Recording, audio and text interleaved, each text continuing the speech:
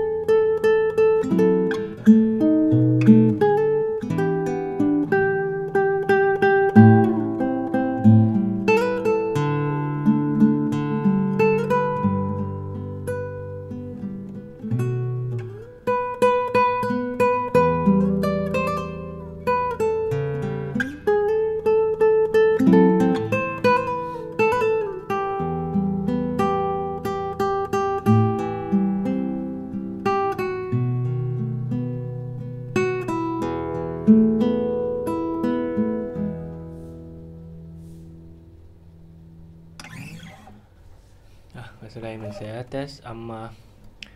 equi ra lo